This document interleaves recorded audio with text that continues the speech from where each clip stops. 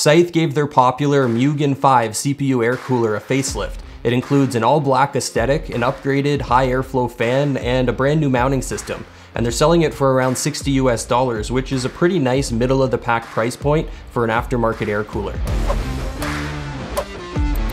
The packaging's very scythe. Nothing fancy, but it's packed well enough to protect the cooler. I've never had any issues with bent or damaged fins with any of the coolers that I've used from Scythe over the years. It comes with everything you need to get it up and running on all the latest Intel and AMD sockets. If you want to see a full list of all the supported sockets, just check the video description below. I'll put all that information down there.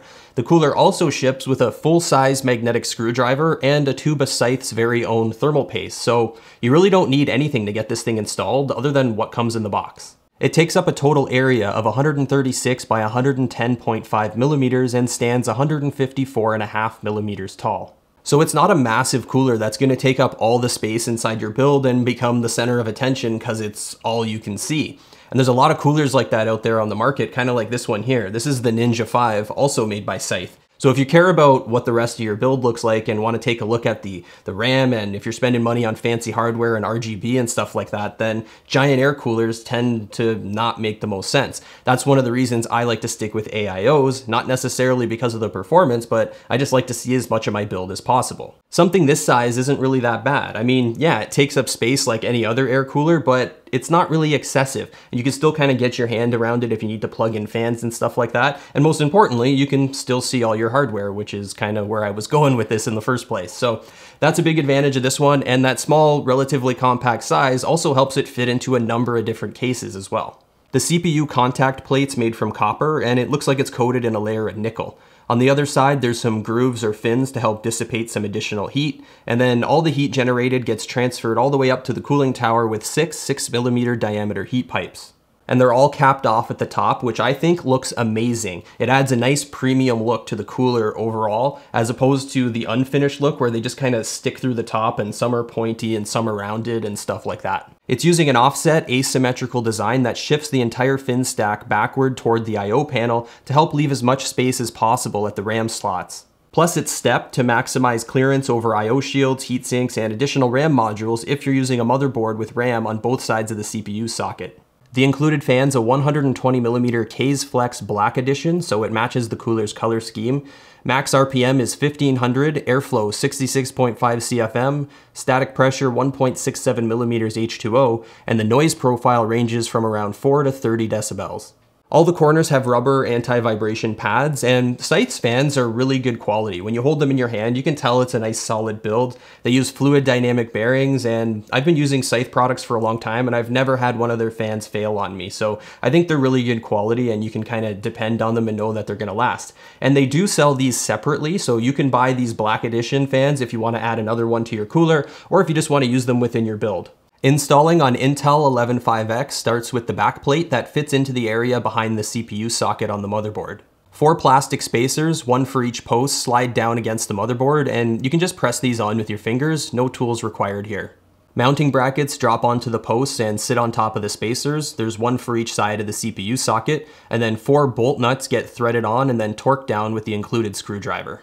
This cooler doesn't ship with any pre-applied thermal paste, so you've got to do that yourself. Now, Scythe does include a tube of their own branded thermal paste, and I think it's actually just fine. I've tested it in the past, and I put it up against some Arctic Silver 5, and I found the temperatures to be almost identical between the two. So I think you can feel pretty confident using the stuff that comes with it, so you don't have to spend any extra money and buy some aftermarket paste.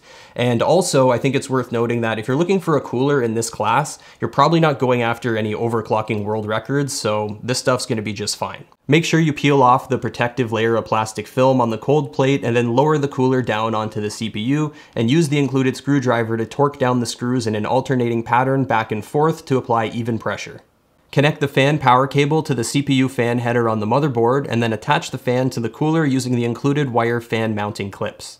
That's all there is to it. It's a really simple and familiar way to install an air cooler. There's a lot of coolers that are out there on the market that install really similar to this one. So I think that's a good thing because it means you don't really need to learn anything new, assuming you've installed an air cooler at least once before. And it does come with an extra set of wire fan mounting clips, so if you want to throw an additional one on the cooler, you can do that. And Scythe did send one over for me for the testing for this video, so I'm going to be able to show you some results with the stock single fan configuration and then also this dual fan setup. For the testing, I'm using an Intel Core i9 9900K. It's an 8-core 16-thread CPU. It's in an Asus ROG Strix Z390 motherboard. There's 32 gigabytes of Corsair Vengeance Pro RAM and a GTX 1080 Ti video card.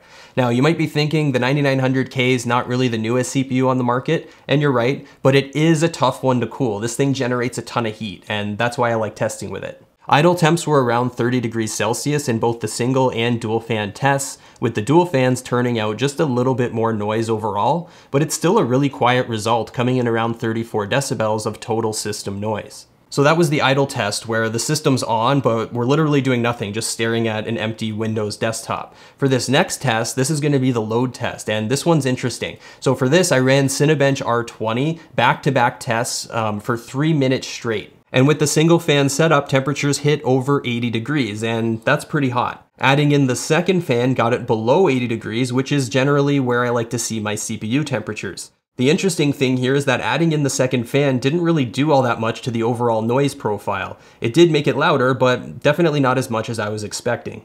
Let's make some sense of these numbers. So you've got the 9900K, a super hot running CPU that's tough to cool by any standard.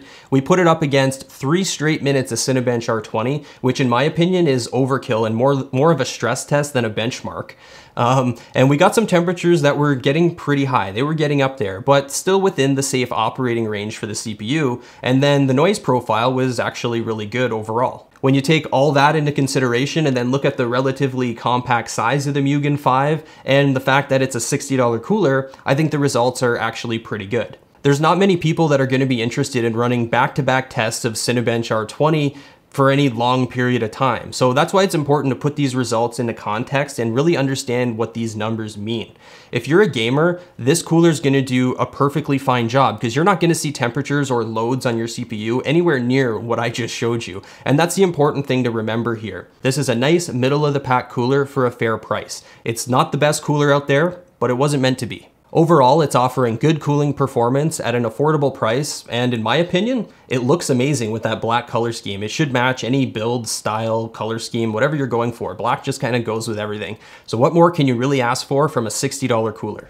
Listen guys, thanks for watching. I hope you liked this video. Check out the description below for more specs and details and also for the purchasing links if you want to pick one of these up. And get subscribed so you don't miss any upcoming content. And we'll see ya.